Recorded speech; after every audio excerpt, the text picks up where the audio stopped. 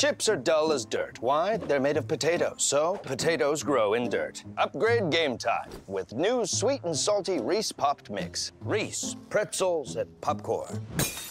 Exactly. It's game night. Mix things up.